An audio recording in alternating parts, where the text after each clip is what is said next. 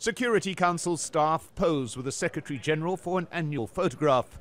Then it's business as usual in the chamber.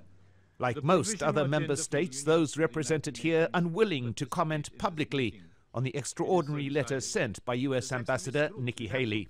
Uh, Ambassador, did you receive the letter from Nikki Haley about uh, Jerusalem? Uh, many letters every day. And- The majority view apparently summed up by one representative who was willing to comment. Look, our, our position on this case has been very clear. We, we've had the opportunity to express ourselves in the Security Council.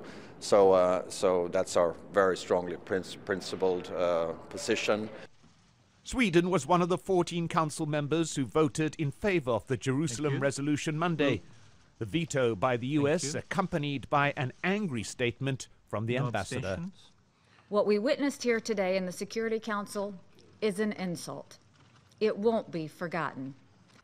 What some would regard as a thinly veiled threat driven home in a letter circulated to all member states regarding the vote taking place in the General Assembly Thursday. As you consider your vote, the ambassador writes, I want you to know that the President and the US take this vote personally.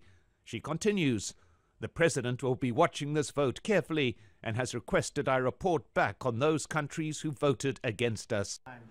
President Trump made clear what the possible consequences could be.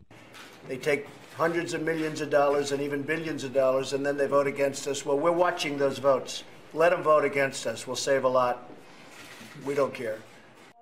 But privately, many UN members are outraged at the letter's bullying and threatening tone, and what was to be a vote condemning attempts to unilaterally change the status of Jerusalem may gain even added significance.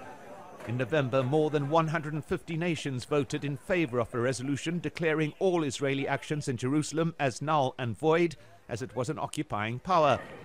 A similar result in the General Assembly Thursday would also be a sweeping international rejection of President Trump and his policies. Mike Hanna, Al Jazeera, United Nations.